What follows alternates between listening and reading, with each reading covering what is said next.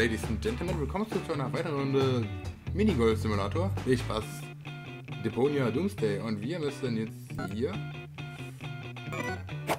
aber endlich mal treffen. Und ich, ich schaff das nicht so ganz. Oh, der Kitty ist so süß.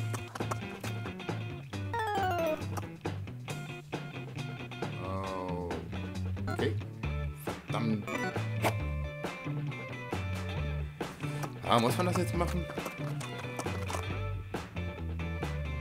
Ich glaube, das breche ich mal ab, dann muss ich mal das äh, Autorennen sehen. Äh, überspringen? Ja, komm.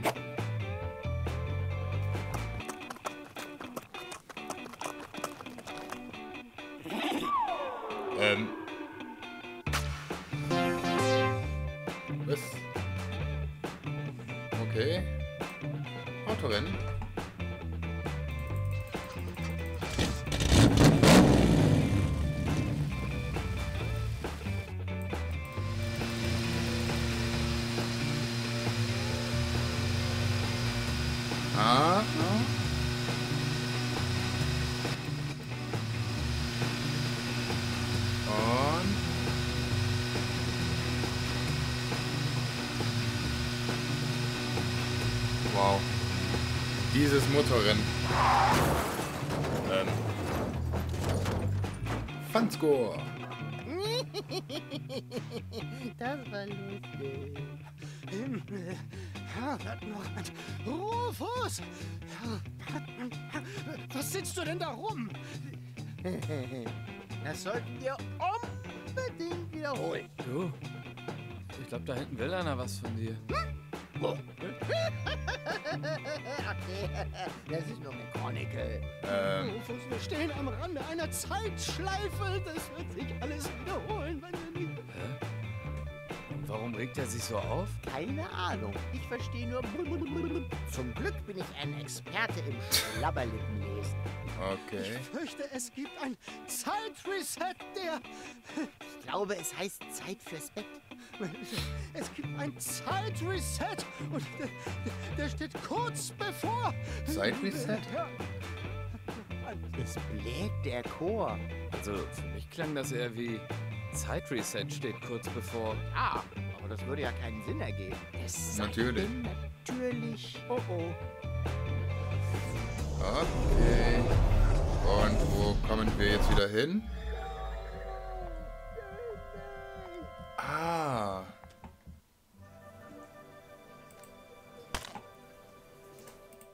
Dann nichts hier raus.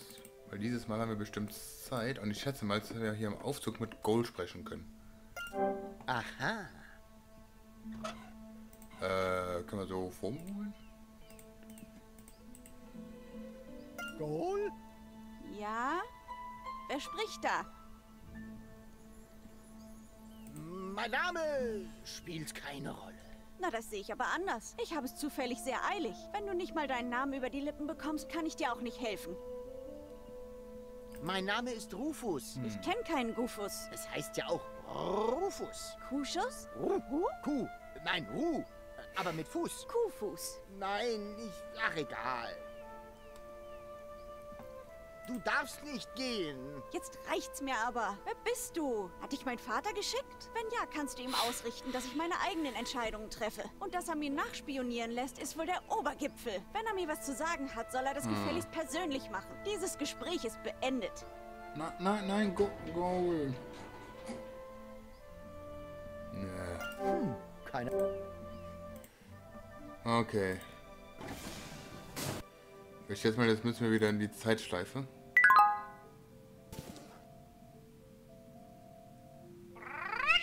Ja, Ronny. Äh, Nein. Na, die sind ja los. nix wie hin. Ach du dicker Vater. Das Hochboot hat bereits abgelegt. Was mache ich Mist. denn jetzt? Willst du meinen Vorschlag hören? McChronicle, was machst du denn da immer noch in den Schächten? Mich nicht einmischen. Wahnsinnig produktiv. Besonders jetzt, wo die Zeit resettet wurde. Ich weiß. Irgendjemand muss die Kurbel am Chronokar benutzt haben. Und jetzt muss er noch einmal Grill Donnerstag feiern. Das wird ihm eine Lehre sein. Geschieht ihm recht. Ich fürchte nicht. Wenn er keinen Aluhut auf hatte, wird er es heute Abend wieder genauso tun. Und dann wieder. Und wieder. Und wir stecken hier fest und können nichts dagegen tun. Das ist das Ende der Zeit, wie wir sie kennen. Du meinst, dieser Tag wird sich ewig wiederholen? Hm. So kann ich mir Schlimmeres vorstellen. Bitte was? Das war kein so übler Tag. Ich hatte Spaß. Schade nur, dass Golden da ist. Vielleicht kriege ich sie ja in der nächsten Schlaufe überredet. Dann würde ich aufhören, sie zu überreden. Und dann wären wir glücklich für alle Zeiten auf Elysium. Aber so geht das doch nicht. Die Zeit würde niemals voranschreiten. Ich hab's schon verstanden. Du kannst dir deinen Werbeblock sparen. Aber oh, was hab ich nur angerichtet? Okay, dann wieder den Aufstuhl. Aufstuhl? Was? Aufzug. Und hallo, Ronny.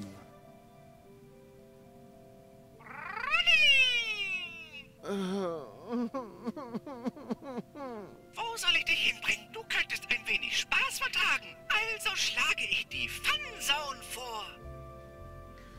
Ja, Funzone. Funzone?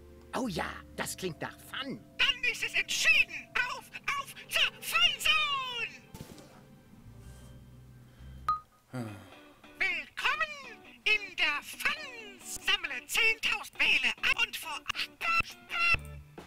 Okay. Pool, wieder furzen.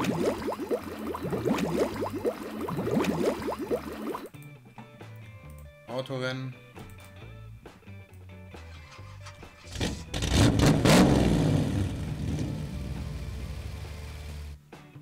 Das war ziemlich einfach hier.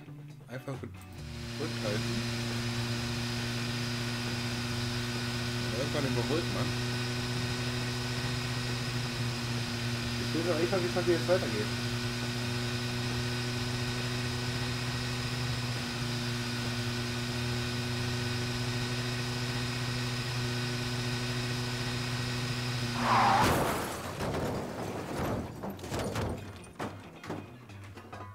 Ich finde, du übertreibst. Man kann den Fatten.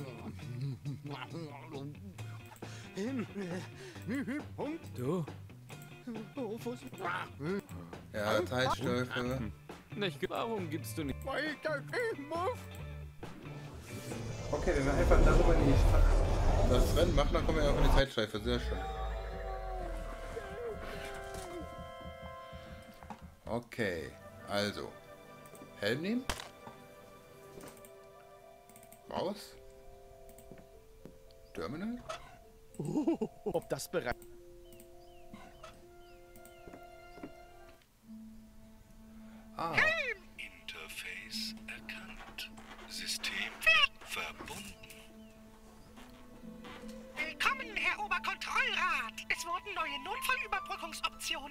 Wenn Sie die Illusion erleben. ja, jetzt. Nennen wir das mal Plan P. P wie pur im Todfall. Verdammt. Goal? Ja? Wer... Oh nein, Dad, spielst du wieder Kontrollrad? Ich sagte doch, ich gehe campen. Von wegen. Ich weiß, dass du vorhast, Clytes nach Deponia zu begleiten. Aber daraus wird nichts. Du wirst hier bleiben. Verstehst du? Ach ja? Warum sollte ich? Weil ich es verbiete. Weil ich es verbiete. Ach, ist das so? Kleine Neuigkeit. Ich bin keiner von deinen Organon-Soldaten. Ich gehe nach Deponia und damit basta. Oder gibt es noch einen richtigen Grund, warum ich hier bleiben sollte? Weil du Hausarrest hast. Weil du Hausarrest hast. Hausarrest. Ich bin keine 14 mehr. Außerdem, die Verlobung mit Cletus war doch deine Idee. Sollte ich nicht ein wenig Zeit mit meinem zukünftigen Ehemann verbringen? Das lohnt sich nicht. Die Verlobung ist abgesagt. Das hier ist keines von deinen Sprengmanövern. Es geht um meine Zukunft. Und wenn ich möchte, dass die im Müll beginnt, dann kannst du da herzlich wenig gegen unternehmen. Ich gehe nach Deponia und damit basta. Oder gibt es noch einen richtigen Grund, warum ich hier bleiben sollte? Weil ohne dich alles doof ist. Weil ohne dich alles doof ist. Hast du schon wieder getrunken, Dad? Was? Nein! Ich... In diesem Zustand werde ich bestimmt nicht mit dir diskutieren. Ich gehe nach Deponia und damit basta. Oder gibt es noch einen richtigen Grund, warum ich hier bleiben sollte? Äh, weil ich sonst die Selbstzerstörung aktiviere. Weil ich sonst die Selbstzerstörung aktiviere. Bitte was? Okay, ich kann dich nicht mehr ernst nehmen. Mach, was du willst. Ich rede nicht mehr mit dir. Selbstzerstörung? Ähm, Hey, was tust du? Ich leite die Selbstzerstörung ein, wie versprochen. Das wagst du nicht. Na dann pass mal auf. Ich wusste, dass du blöffst. Mach's gut, Dad. Verdammt, das sah eigentlich vielversprechend aus. Mit den richtigen Notfallcodes könnte ich sie bestimmt überzeugen. ah, verdammt, wo kriegen wir denn jetzt die Codes her? Hm, mal überlegen. Die müssten ja Argos haben oder Ulysses selbst oder Gliedmache, keine Ahnung. Hm.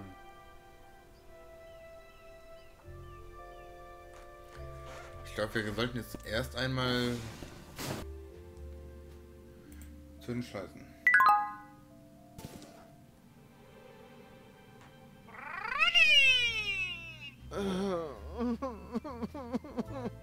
Wo soll ich dich hin? Du könntest...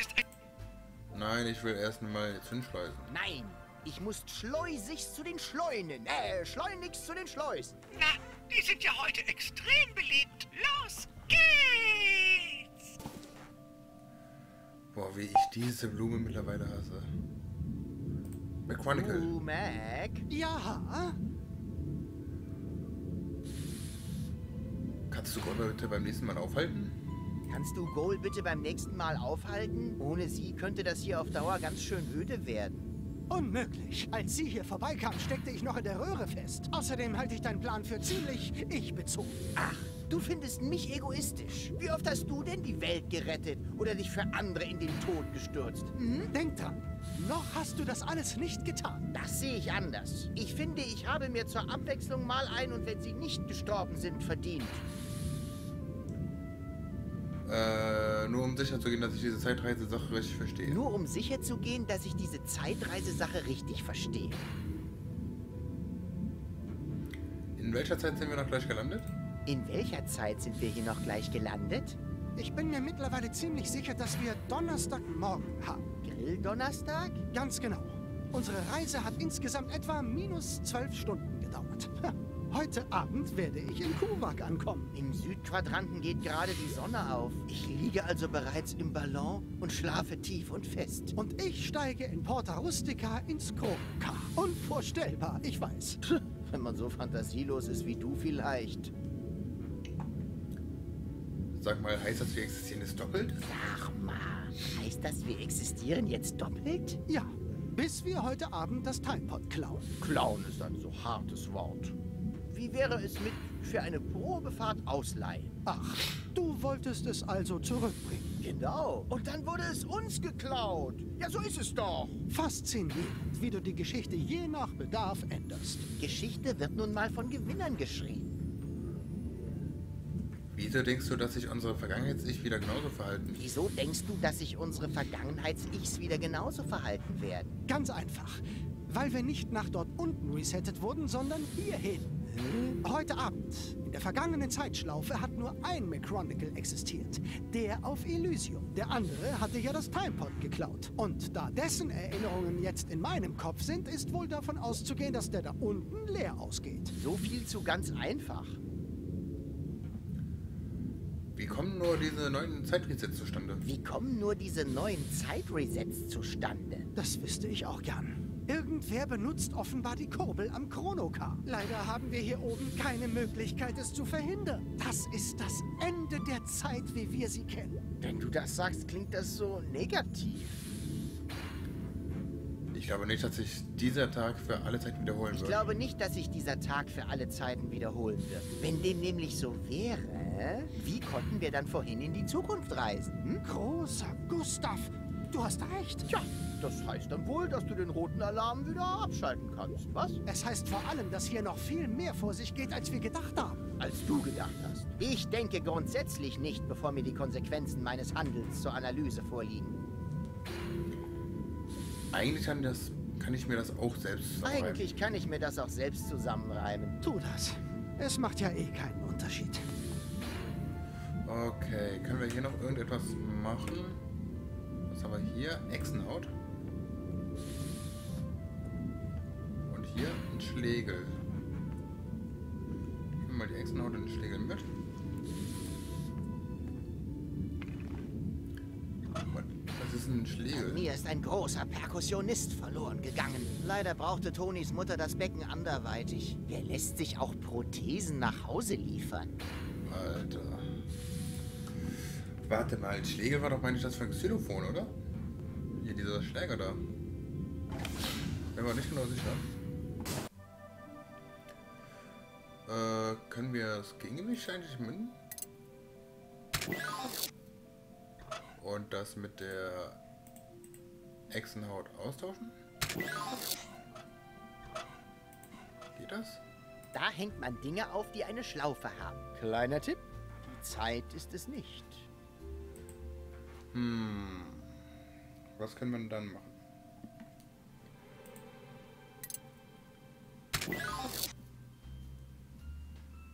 Wir könnten jetzt. Ich glaube, wenn wir das. Könnten jetzt einen Schlägel nehmen.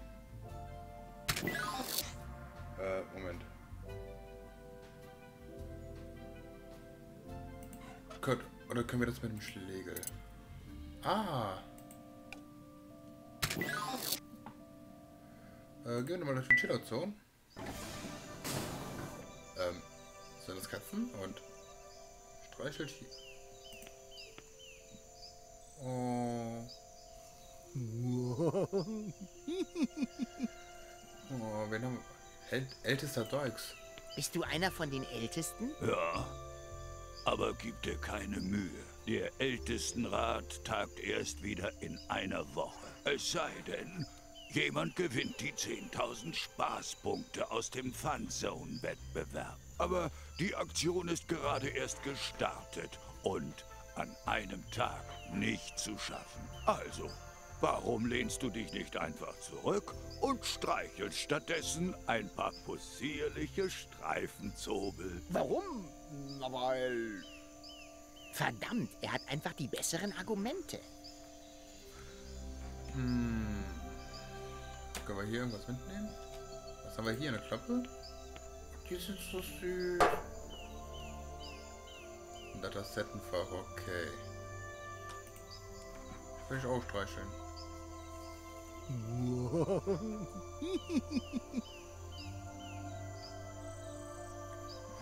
Sonst noch etwas? Was haben wir denn hier? Vollpentingers Generator. Das.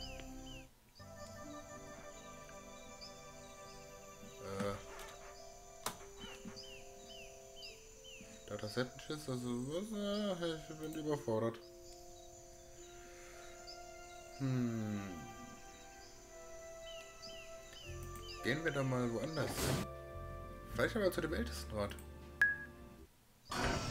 Ähm, Bin ich hier richtig? Ich wollte zum Ältestenrat, nicht zu betreutes Wohnen.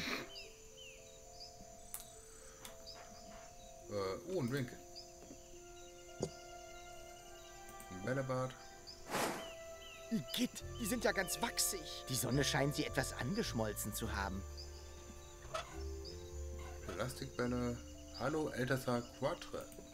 Hey, du, aufwachen! Ich bin wach. Ich muss unbedingt beim Ältestenrat vorsprechen. Gerne. In einer Woche haben wir wieder unsere administrative Zwischensitzung mit Mondzipfeln. Äh, vergiss nicht, eine Kuchengabel mitzubringen. So viel Zeit habe ich nicht. Wir sind in einer Zeitschleife gefangen. Ich brauche die Audienz heute. Eine außerordentliche Sitzung? du machst mir Spaß. So etwas ginge nur im Katastrophenfall. Oder natürlich, wenn jemand 10.000 Spaßpunkte erreicht hat. Aber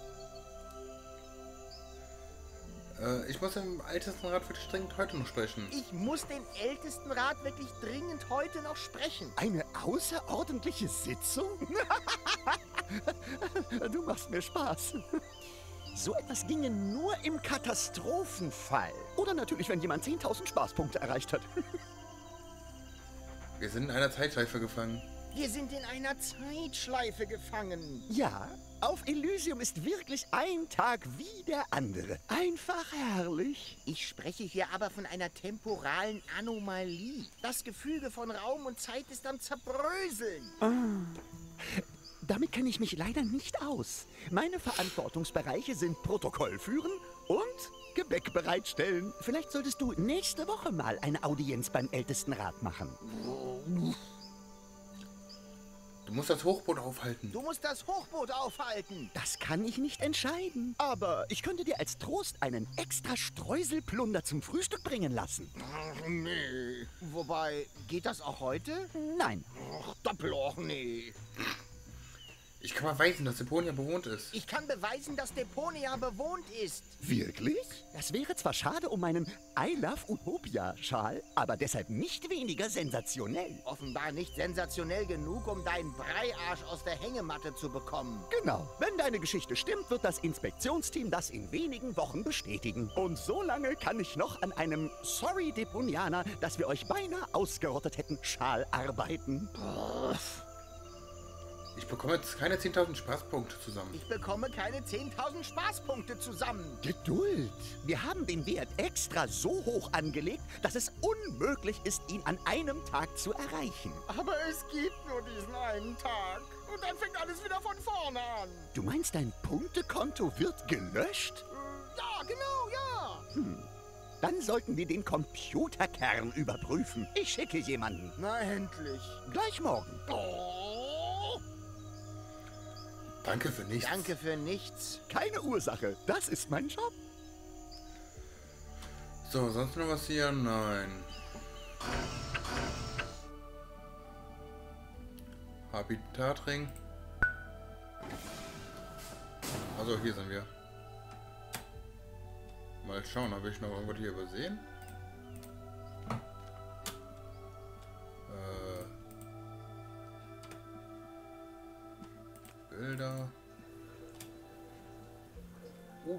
Ich bin am Ziel. Und es ist noch viel schöner, als ich es mir in meinen feuchtesten Träumen ausgemalt habe. Ja. Und mit diesen Worten beende ich mal diese Folge, ne? Wenn es euch gefallen hat, lasst einen Daumen nach oben da. Ansonsten einen Daumen nach unten und einen Kommentar. Und wir sehen uns beim nächsten Mal. Bis dahin. Tschüss.